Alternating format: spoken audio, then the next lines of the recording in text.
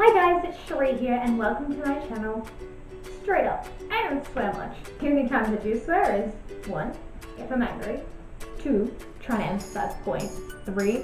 I'm losing any game of Call of Duty. Because I don't do it a lot, when I do tend to slip up, people react a bit like this. Well, that was a ending to that movie. Who are you and what have you done with Hermione Granger? I feel as if swearing degrades a person's image a little bit. They could be a great person, but because you see them swear a lot, we tend to judge them a little bit.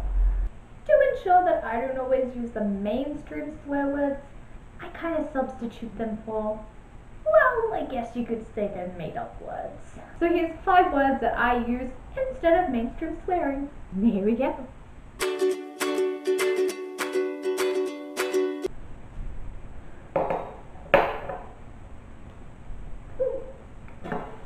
Ooh, we're having fudge?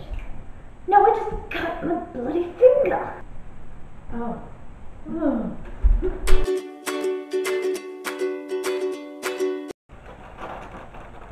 Oh. Oh, for flip's sakes.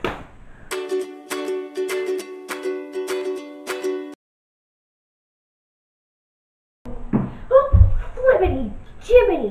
Ugh, ugh.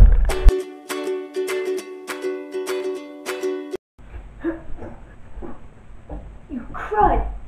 Crud, get back here!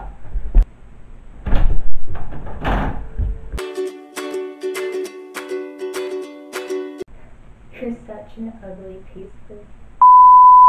Yeah? Well, your face! I hope you guys enjoyed this video. If you did, make sure to give it a big thumbs up. Also, subscribe to my channel so you can see more of me. Comment below if you use any other made up weird words instead of, well, swearing. I would love to hear from you guys. Today's shout out goes to Jerm Da Man who does a range of different gameplay from horror games to just a bit of fun games, relaxing games, and reacts to them in amusing ways. So go check him out and subscribe to him.